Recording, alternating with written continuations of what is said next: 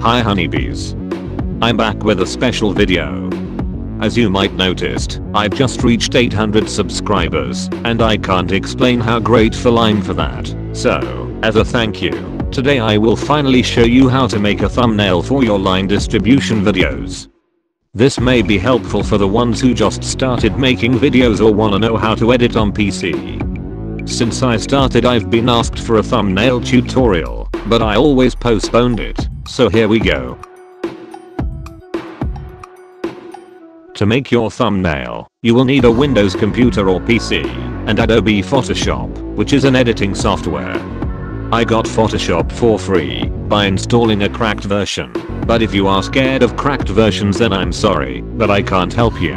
This is what you see when you first open Photoshop. You have to create the document's canvas. So first, name it as you want. Change the measurement to pixels. Change the width to 1920 and the height to 1080. You can do it smaller, but the dimensions always have to be 16, 9. Leave the rest as it is. Once you did that, you can save the preset of the canvas and use it in the Save tab. Click Create. Photoshop's interface can look hard, but it's not. Click File and place Embedded to import a photo.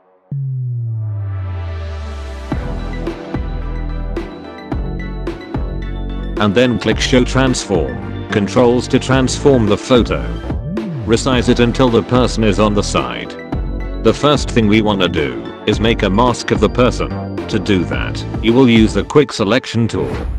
It's a brush that you use to select the person, and you can resize it as you want.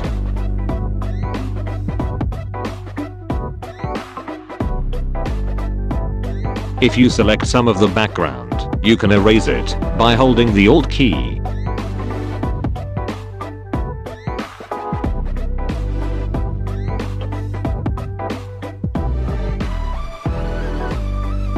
Once you finish, duplicate the layer with Ctrl plus J to have an individual layer of the mask.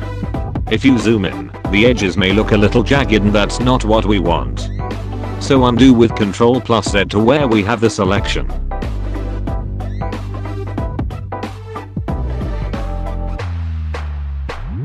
Click select and mask at the top.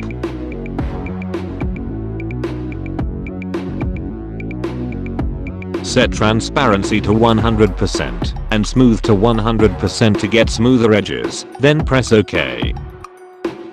Once again selected, duplicate the layer. Right click on the new layer and go to blending options to see all the layer styles. We will add a stroke. Choose outside and add thickness and color to your liking. I like it white. Then, we will add a black shadow. Make sure the blending mode is in normal and the color is black. You can copy my settings if you want. You can click new style to create a preset of this and you will find it on the styles tab. As you can see, the background doesn't fill the whole screen, so you can either use a background that matches the photo or create a mirror of it. To do that, duplicate the layer, flip it horizontally and drag it to the side to complete it.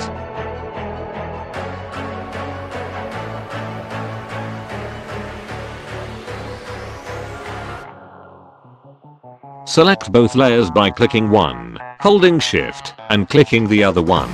Right click them, and choose merge layers.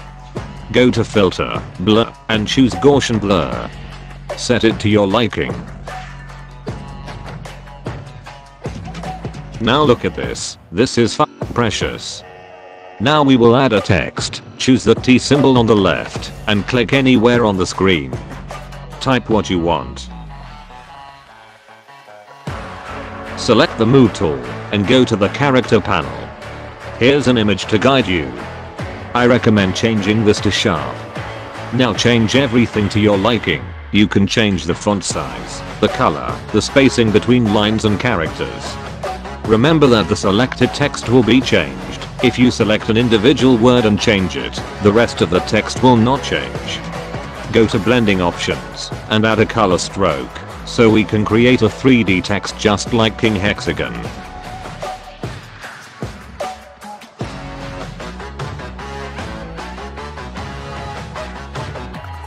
Select the text layer, duplicate it and move one pixel up and left.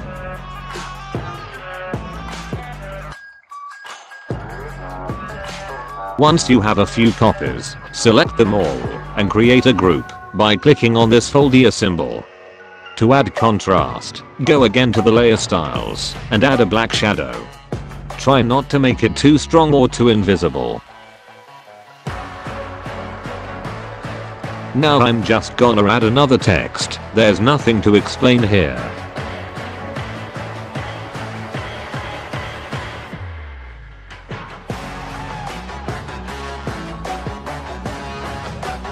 Now I will make the text look tilted.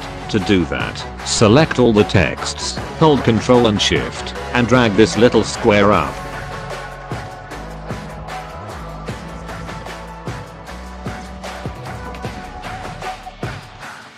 Congratulations. So far you already have a thumbnail that is enough and left over for your video, but if you want you can add more decorations such as patterns, stickers, logos, more texts, and basically anything you want in your thumbnail. The point of this is that you get to create something that you are happy with and find your own style because once you learn how to edit on Photoshop, you can do pretty much anything you want. To save your thumbnail go to file, save as, and first you wanna have a PSD file, which you can use to edit the thumbnail later. Then, save it again as a JPG image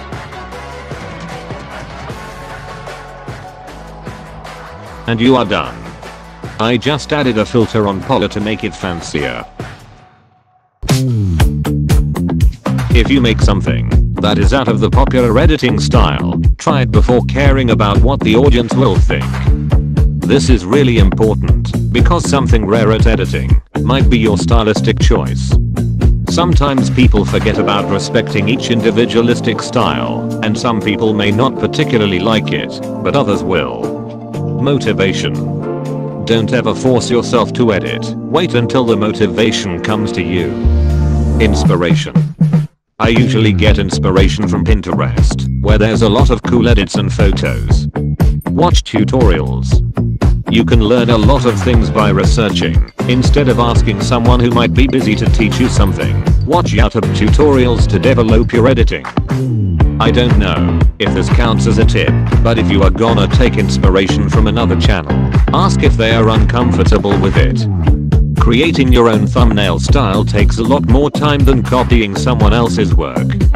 I know the frustration you feel when someone copies your style.